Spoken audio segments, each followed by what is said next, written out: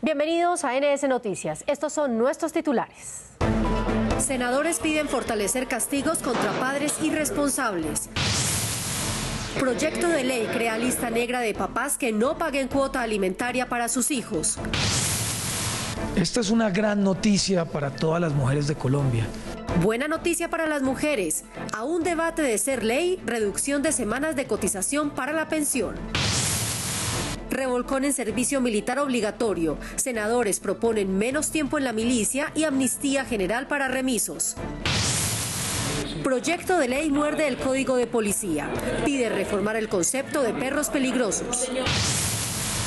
Para salvar el medio ambiente, cada colombiano tendría que sembrar al menos cinco árboles. Senadores con San Andrés, Raizales pidieron ayuda.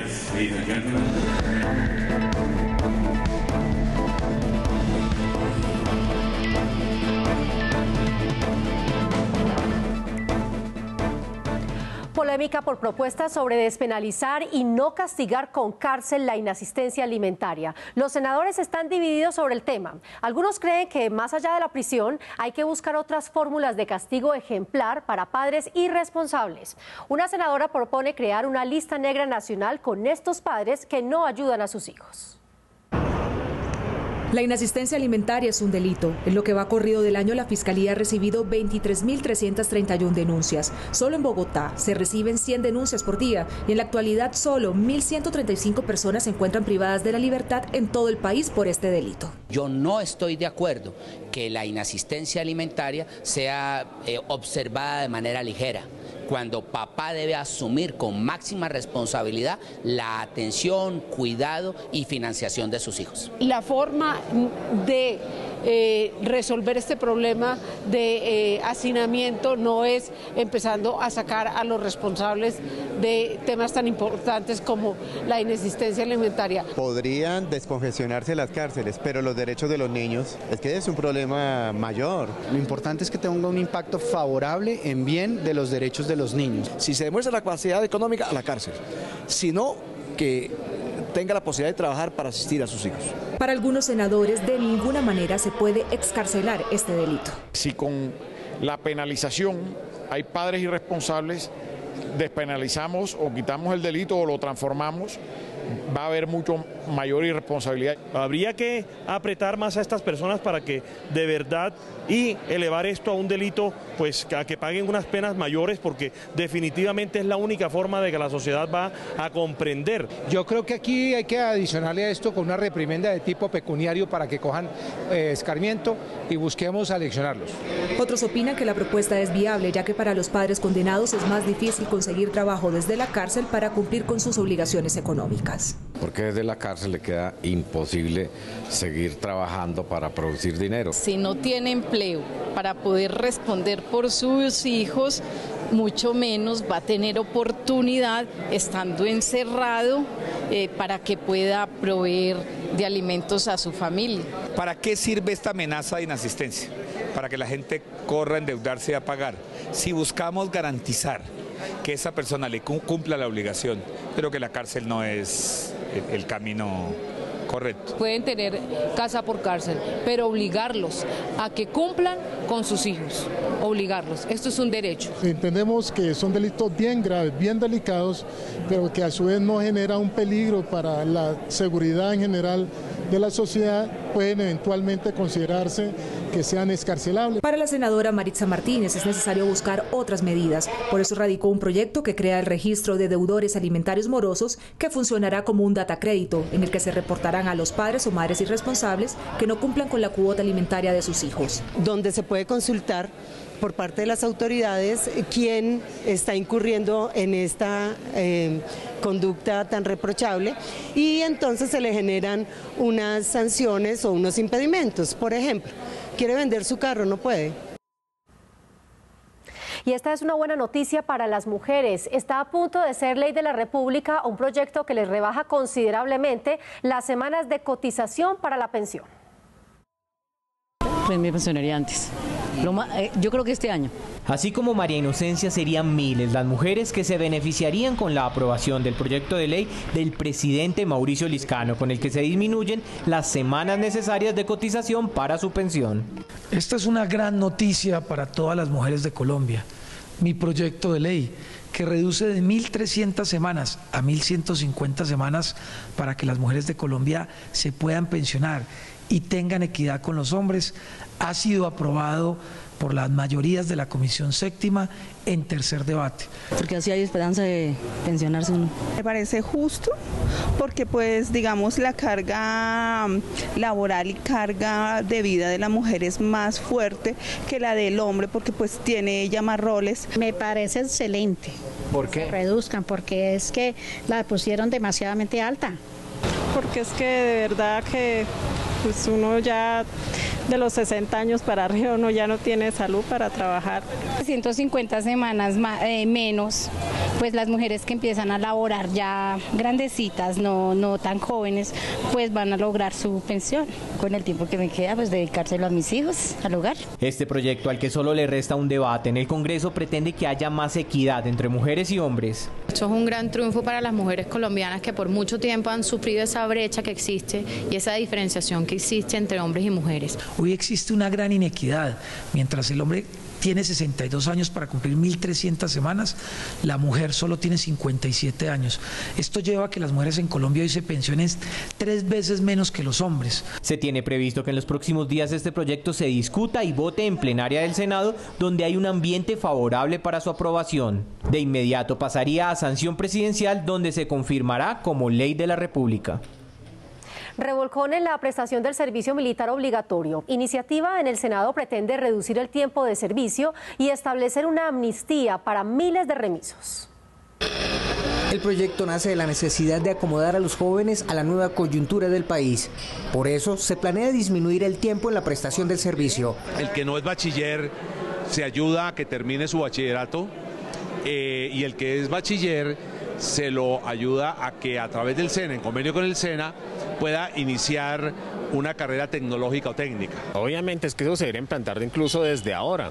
Por lo menos aquí los chicos que están en el, batallón guardia presidencial, ellos los tienen sin hacer prácticamente nada. Ya ellos están trabajando en un trabajo social los que están ahora. Otra opción en la que estaba pensando sería una especie de servicio ambiental eh, en parques nacionales o cosas así. También plantea una condonación a multas de los remisos. Van a poder acercarse con esta amnistía y con un pago mínimo no superior a los 120 mil pesos arreglar su situación. Hay una amnistía para, por ejemplo, yo no, estoy, no tengo legal, todavía no, no, he formalizado esa situación, pues para mí me convendría mucho poder legalizar mi situación militar. El proyecto establece un servicio social y un aumento en la bonificación mensual. Pasamos de menos de 80 mil pesos a más de 300 mil pesos. De ser aprobado, este proyecto de ley se irá poniendo en marcha paulatinamente hasta su implementación total. Si la crisis de Venezuela sigue creciendo, miles y miles de ciudadanos del vecino país buscarán refugio en Colombia. ¿Estamos preparados para esa grave emergencia humanitaria? Responden los senadores. Venezuela afronta momentos críticos que se agudizan cada día más. De llegar a una situación insostenible se calcula un éxodo masivo de personas, de las cuales muchas llegarían a Colombia. ¿Está el país en condiciones de recibir millones de refugiados? Ya muchos están llegando y por supuesto que no podemos estar preparados para ello. Mm, el tema es como la salud y la educación, sin duda el impacto ha sido muy fuerte. Colombia tiene que estar solidario con Venezuela no solo por principios, porque lo que está sucediendo allí es antidemocrático, es inhumano, es verdaderamente desgarrador. Tenemos que obviamente como obligación histórica recibir a nuestros hermanos mientras dura esta crisis porque estoy seguro que tienen cómo recuperarse. Es inexplicable que en Colombia no haya habido o no haya hecho estos gobiernos últimos, estos últimos gobiernos la casa de migrantes o de migrantes. Eso es algo absurdo y desde luego esta gente llega y toca hacerle carpas, toca tirarlos en el suelo, niños, mujeres. Algunos senadores consideran que el éxodo hacia Colombia ya se está viviendo. Han venido viniendo a Colombia, quedándose en la frontera, pasando a otras ciudades del país, montando sus negocios. Y ya tenemos un éxodo masivo hemos con solidaridad absorbido muchos de ellos, pero muchos otros están o en la prostitución o aguantando hambre o cometiendo delitos Entonces yo sí creo que hay que tratar de resolver ese problema antes de que se vuelva algo que, que realmente no podamos manejar. Lo que hemos visto hasta ahora, no solo del ingreso de venezolanos, sino también de nacionales que se han devuelto por las difíciles circunstancias, eh, llegan en un número muy apreciable y sin capacidad de poder ser acogidos por los servicios institucionales a los que normalmente deberían tener derecho. Consideran que Venezuela es un país hermano que desde hace décadas le ha dado la mano a los colombianos y que por eso no se le puede dar la espalda y por el contrario hay que recibir a sus ciudadanos con los brazos abiertos. Un grupo de senadores citó a debate a la canciller María Ángela Holguín sobre la crisis de Venezuela y las acciones que ha tomado el gobierno colombiano. Senadores del Centro Democrático expusieron ante la plenaria del Senado las consecuencias de la crisis de Venezuela. También pidieron a la Cancillería que explicara los mecanismos que está utilizando para ayudar a mejorar la situación que enfrenta el vecino país y que hoy afecta a millones de colombianos. ¿Y cuáles han sido las consecuencias? Primero, deportaciones masivas y violación de derechos humanos a nuestros compatriotas. Un gobierno dictatorial, oprobioso, sátrapa, comete esos delitos de manera sistemática y la política exterior colombiana, ¿dónde está, señora canciller? ante todo esto que está ocurriendo. La canciller María Ángela Holguín aseguró que se está haciendo lo humanamente posible para que los venezolanos puedan solucionar la crisis. Para poder que se sienten los venezolanos, que se sienten a hacer unos acuerdos a mediano y a largo plazo. La situación de Venezuela no es solamente de corto plazo. Otros senadores también expusieron su punto de vista. No podemos achacarle al gobierno del presidente Santos que le falta valor, que le falta coraje, que le tiene miedo a Maduro. Los senadores aseguraron que se seguirá vigilando lo que suceda con el vecino país. Un proyecto de reforma muerde el nuevo código de policía. La iniciativa busca una clasificación distinta de los llamados perros bravos. La iniciativa busca corregir el concepto de las llamadas razas peligrosas y crear el de caninos especiales, basándose en que no se puede definir la peligrosidad de un perro por su raza, sino por la educación que ha recibido por parte de su amo. Lo importante es crear conciencia de que es mentira de que existen 14 razas peligrosas si no hay caninos especiales de acuerdo a su educación, si fueron educados para atacar, ser guardianes, para estar en guerra, antiexplosivos, eh, narcotráfico, etc. Además, el proyecto de ley establece parámetros para la póliza que exige el Código de Policía. De que existan unas pólizas especiales para esos caninos especiales y que además tengan una, que sean inscritos y adscritos a las asociaciones caninas aquellos que sean bien educados o estén dentro de un grupo familiar el cual no representa ningún peligro para la sociedad. Otros senadores aseguraron que este proyecto de ley es viable y que beneficia tanto a los perros como a sus amos. Es bueno que, que se prevea estas circunstancias y titularles mucha responsabilidad y deberes a los propietarios de este tipo de razas de especiales cuidados. Creo que hay que revisarlo, definitivamente, y apoyo una iniciativa que abre el debate. Esta iniciativa entrará a ser discutida en el Congreso en las próximas semanas. El presidente de la Comisión de Ética del Senado, Manuel Enríquez Rosero, invitó a los colombianos a inscribirse a la convocatoria para las medallas Luis Carlos Galán y Pedro Pascasio Martínez podrán postularse aquellas personas que hayan demostrado hechos o actos de lucha contra la corrupción y que pueden postularse y, y dentro de una convocatoria abierta, pública y transparente se va a otorgar esas medallas. La suspensión de la modernización de la refinería de Barranca Bermeja genera preocupación en el puerto petrolero. La decisión ha aumentado el desempleo y la caída de inversión. La gente invirtió más de 300 mil millones de pesos y Ecopetrol después, por el tema de la refinería de Cartagena, dejó a Barranca Bermeja colgado, que es la injusticia y hoy en día pueden naturalmente ellos eh, desarrollar el proyecto. No lo hacen porque según ellos el precio del petróleo no les da para el tema. Debate por el proyecto de reforma política presentado por el gobierno. Un grupo de senadores lo apoya, pero otros sectores creen que no es el momento de tramitarlo. Con 23 artículos, la reforma política propuesta por el gobierno tiene desde ya varios puntos de discusión entre los senadores. El primero, la implementación de la lista cerrada a partir de las próximas elecciones. El tema de la lista cerrada lo que hace es que le pongamos el vendaje y la gente no sepa por quién votar, vota por unos partidos en los cuales uno cree. Yo creo que eso fortalece los partidos, creo que nos devuelve la fuerza del discurso que eso no signifique la dictadura del bolígrafo, sino que haya realmente mecanismos de democracia interna. Se crea el Consejo Electoral Colombiano, un organismo independiente que contará con una unidad de policía judicial para resolver problemas de fraude electoral. El presidente del Congreso, Mauricio Lescano, celebró que el gobierno escuchara al legislativo y eliminara el tema de crear una corte electoral. Corte Electoral que iba a arrodillar la democracia, quitándole funciones al procurador, al contralor, al Consejo de Estado. La reforma prohíbe contratar cualquier tipo de transporte para realizar proselitismo y durante el día de las elecciones el Estado asumirá este servicio. En muchos municipios los monopoliza un solo candidato contrata todos los buses y los otros se quedaron sin transporte. La reforma también prohíbe que una persona pueda ser elegida por más de dos periodos en corporaciones públicas y reduce de 25 a 21 años la edad para ser representante de la Cámara y de 30 a 25 para ser senador. Un grupo de senadores estuvo en San Andrés escuchando las quejas de la comunidad. Piden salud, más seguridad y fuentes de trabajo. Continuando con su proceso de escuchar de primera mano las necesidades de las comunidades, el Senado, en cabeza de su presidente Mauricio Liscano, se desplazó a San Andrés, donde se llevó a cabo un nuevo foro regional. El tema del aeropuerto es una de las grandes preocupaciones que nos llevamos. Otras grandes preocupaciones que nos llevamos es el tema de, de las comunicaciones. Con gran sorpresa eh, he visto cómo el celular no funciona, se demora para enviar mensajes. Los raizales expresaron los problemas que enfrentan a diario, especialmente en lo que tiene que ver con servicios públicos y educación. Fortalecer en el tema de formación, el tema de capacitación, la generación de oportunidades. Se requiere de un plan integral de mejoramiento de servicios públicos básicos insatisfechos eh, de los cuales carece dramáticamente la isla de San Andrés. Tras el encuentro se decidió crear una subcomisión que se encargará de hacerle seguimiento al cumplimiento efectivo de los compromisos. Invitación a los habitantes de Valledupar para que asistan el próximo viernes a Confacesar.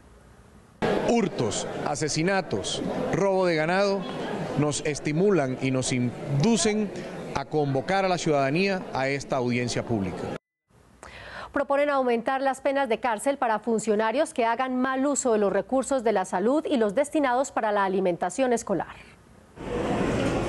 Con esta iniciativa del Centro Democrático se pretende aumentar las penas hasta en un 50% para quienes roben recursos de la salud y programas de alimentación escolar. Que busca incrementar la pena en los delitos de peculado y prevaricato para los funcionarios que sean responsables de implementar proyectos que tengan que ver con menores de 14 años. Básicamente las penas van comprendidas de 15 años en adelante.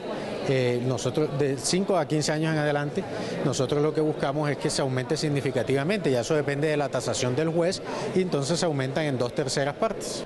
El proyecto también otorga facultades a las comisarías de familia para que investiguen este tipo de delitos. Si estos recursos no son vigilados, por el funcionario correspondiente, si no son supervisados, si no se garantiza su acompañamiento, al igual que el contratista, entra a ser responsable penalmente. Qué mejor que introducir este tipo de herramientas para que aquellos que osan eh, meterle la mano al, erario eh, sientan que hoy existen unas penas eh, que son aún más agravantes, que son unas penas más delicadas y obviamente el señalamiento social que es fundamental e importante.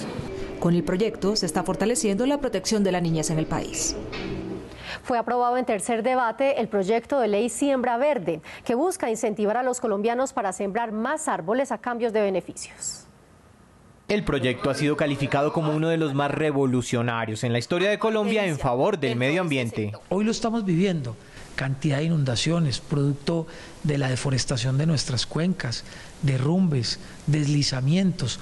Todo no es nada más y nada menos que la obra de un hombre que ha destruido la piel de la tierra, que es nuestro medio ambiente. Y por la conciencia ambiental que se vive hoy en el mundo, la decisión ha sido aplaudida por la ciudadanía. Me parece súper bueno porque ayuda al medio ambiente y sobre todo fortalecer la capa de ozono que pues tenemos muchos problemas en ese sentido, ¿no? Me parece muy buena la idea. Muy bueno, sí, porque tenemos descuidada la naturaleza.